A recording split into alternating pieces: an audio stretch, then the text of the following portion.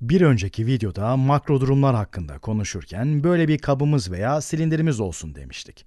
Ve silindirin tepesinde hareket edebilen bir tavan vardı. Buna da piston demiştik. Kabın içindeki gazın basıncı sayesinde piston yukarı doğru itiliyordu. Yaptığımız son örnekte ise üzerindeki bir taş veya bir ağırlık sayesinde de aşağı doğru itiliyordu. Ve pistonun yukarısı da uzay boşluğuydu. Yani kabın içindeki parçacıkların pistona çarpmasıyla oluşan bir miktar kuvvet bölü alan, diğer bir deyişle basınç var. Eğer bu ağırlık olmasaydı bu hareket edebilen tavanın ya da pistonun kütlesi olmadığını da hesaba kattığımızda o zaman bu piston sonsuza kadar yukarı itilecekti. Çünkü havasız ortamdayız ve yukarıdan herhangi bir basınç uygulanmıyor. Ama bu ağırlık aynı alan üzerinde aşağı doğru bir kuvvet uyguluyor. Böylelikle bir denge durumunda kararlı bir halde oluyoruz. Bu durumu buradaki basınç hacim diyagramında göstermiştik.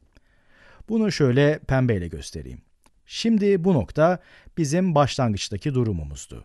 Bir önceki videoda bu taşın yarısını kaldırmıştık.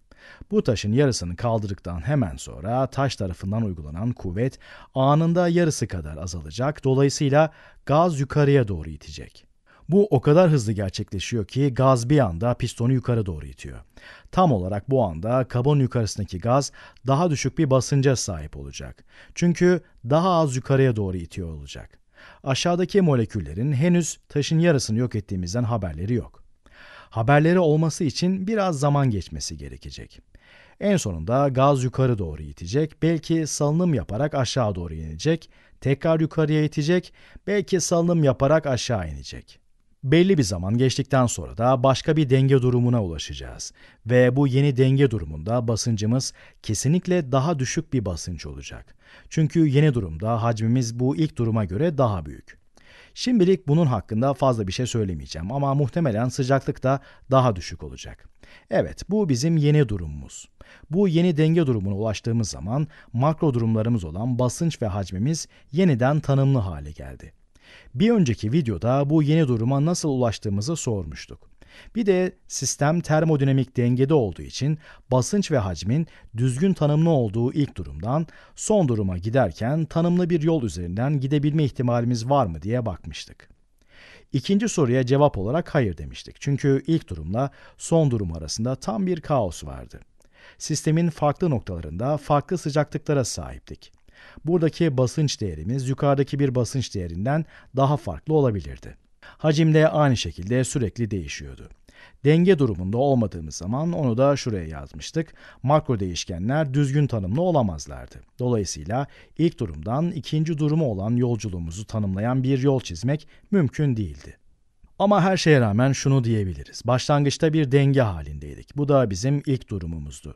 Daha sonra taşın yarısını yok ettik. Basınç azaldı, hacim arttı. Sıcaklık da muhtemelen azaldı. Böylelikle denge haline ulaştığımız zaman bu ikinci duruma gelmiş olduk. Bu iyi hoş da iki durum arasında bir yol olsaydı güzel olmaz mıydı? İlk durumdan ikinci duruma giderken bir yol üzerinden gidebiliriz diyebilsek ne güzel olurdu değil mi? Ara hallerde bir kaos durumu yaşanmaması ve aradaki bütün noktalarda makro değişkenlerimiz tanımlı olması için taş kaldırma deneyini nasıl farklı yapabilirdik? Bunu nasıl gerçekleştirebilirdik? Hatırlayalım. Makro değişkenlerin, makro durumların yani basınç olsun, sıcaklık olsun, hacim olsun, başka makro durumlar da var elbette ama bunların tanımlı olmaları için ne demiştik? Makro durumlar yalnızca termodinamik denge halinde tanımlı oluyorlardı. Yani her şeyin kararlı olduğu noktada düzgün tanımlama yapabiliyorduk. Mesela sıcaklık sistemin her yerinde aynı olduğu zaman tanımlı oluyordu. Eğer sistemin her yeri aynı sıcaklığa sahip değilse sıcaklık hakkında konuşmamamız çok da doğru olmaz. Sonuçta buradaki sıcaklık yukarıdaki sıcaklıktan farklıysa sistem X sıcaklığına sahiptir diyemeyiz. Farklı noktalarda farklı sıcaklık değerleri olduğu zaman sıcaklık hakkında düzgün tanımlı bir ifadede bulunamayız.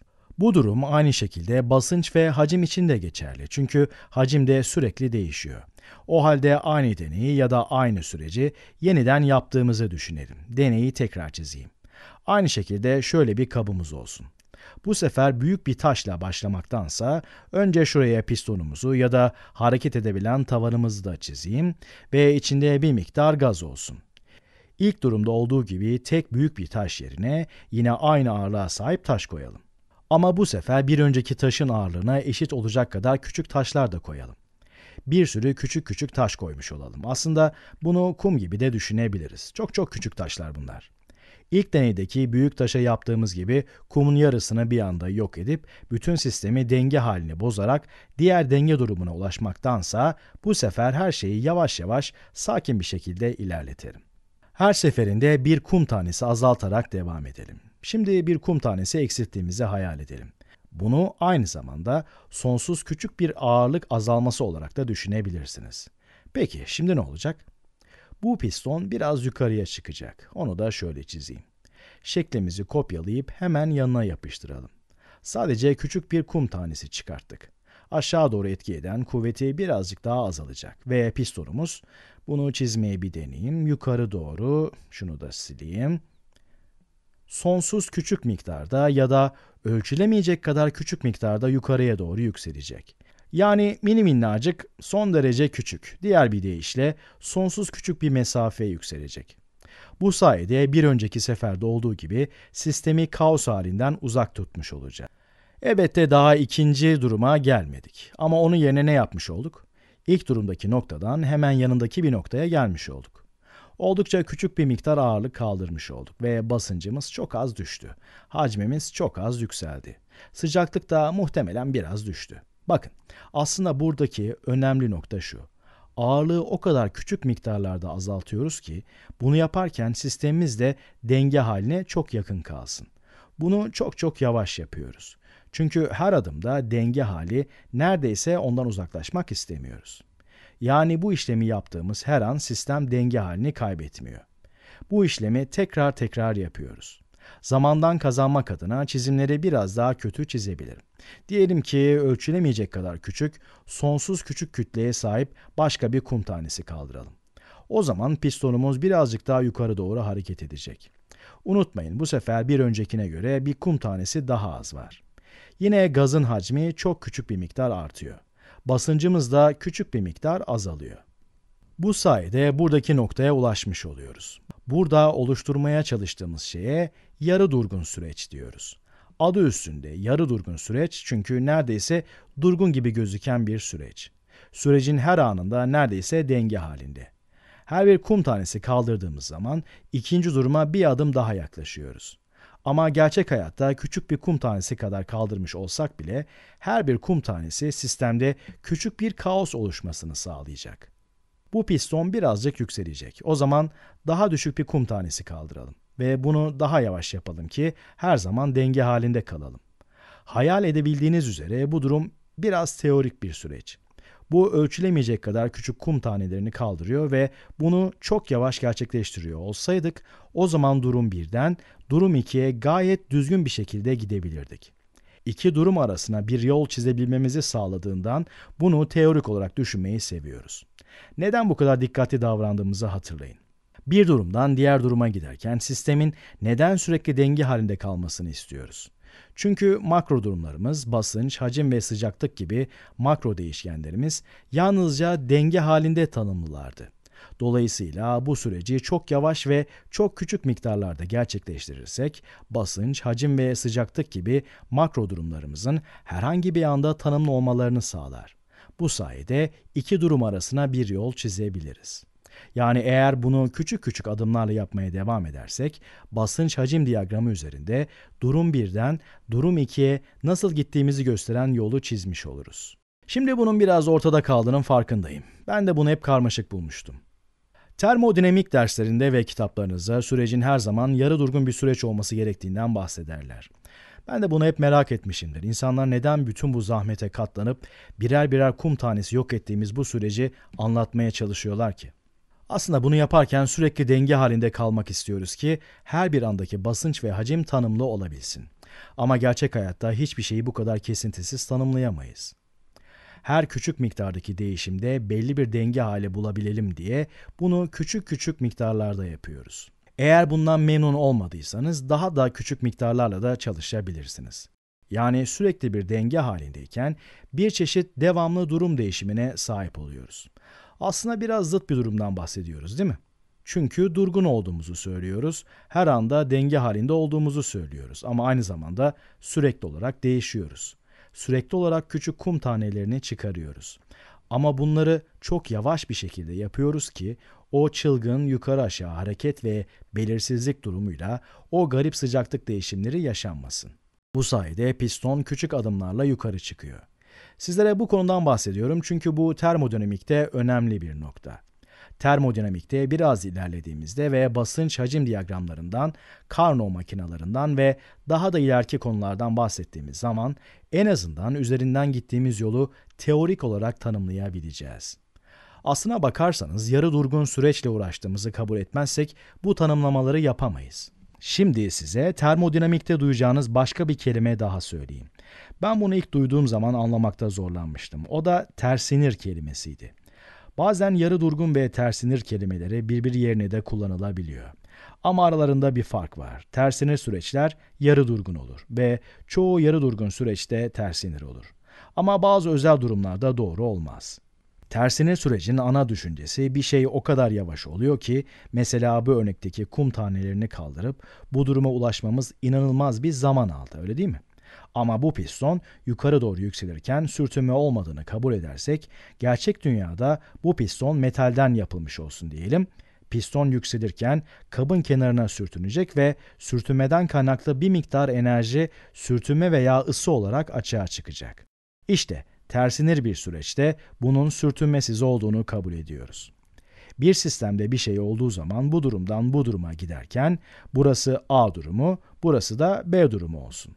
Soldaki durumdan sağdaki duruma giderken bir bütün süreç boyunca denge haline sonsuz küçük yakınız. Dolayısıyla bütün makro durumlarımız düzgün tanımlı. Ve iki bir durumdan diğerine giderken herhangi bir enerji kaybı veya dönüşümü olmuyor. Bunlar sürecin iki önemli özelliği. 1. Dengeye her zaman sonsuz küçük yakınız. 2. Enerji kaybı yok. Peki, bu terslenir bir süreç için neden bu kadar önemli? B durumunda olalım ve bir kum tanesi geri eklemek istedik diye düşünelim. Kum tanesini eklediğimiz zaman pistonu sonsuz küçük ve oldukça yavaş aşağı doğru iteriz ve tekrar geri A durumuna ulaşırız. Bu yüzden buna tersinir süreç diyoruz. İsterseniz buradaki noktada bulunabilirsiniz ve küçük bir miktar kum çıkarıp buradaki noktaya ulaşabilirsiniz. Ama eğer isterseniz herhangi bir enerji kaybı olmadığı için bir miktar kum ekleyip bir önceki noktaya geri dönebilirsiniz. Aslında gerçek hayatta mükemmel bir tersine süreç diye bir şey yok. Ne zaman bir şey yapsanız her zaman bir miktar enerji ya da ısı sürece kayıp verilecek. Gerçek hayatta buraya inmiş olsaydık ve kumu geri koysaydık bir miktar enerji kaybedecektik ve biraz daha farklı bir noktaya ulaşacaktık. Ama bunun hakkında endişelenmenize gerek yok. Bu videodaki asıl önemli olan şey en başta tanımladığımız durumda herhangi bir ara makro değişkenimiz yoktu. Çünkü sistemimiz bir kararsızlık halindeydi. Bir denge durumunda değildi.